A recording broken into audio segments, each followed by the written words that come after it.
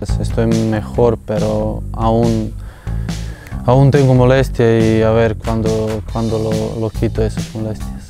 Siempre cuando estás fuera del equipo y cuando se lesiona es un poco duro para no po- poder ayudar eh, a su equipo para ganar, para mejorar.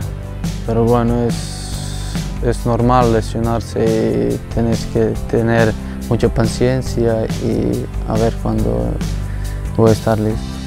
Estas dos semanas que está parado, que teníamos muchos entrenos para mejorar algo que tenemos que mejorar y en mi caso igual que me ayudo un poco para hacer cosas para, para mejorar de, de lesión. Es un rival complicado, siempre con ellos se meten muchos goles y a contra y a favor. Creo que seguro va, va a hacer muchos goles y, nosotros seguro que vamos a ir a ganarlo, a ver que, si podemos ganar ahí. Lo veo bien equipo, siempre tenemos que pensar positivo y que viene y contra quién jugamos, que jugamos igual y nada, tenemos que, que empezar positivo y a ganarlo todo lo que podemos.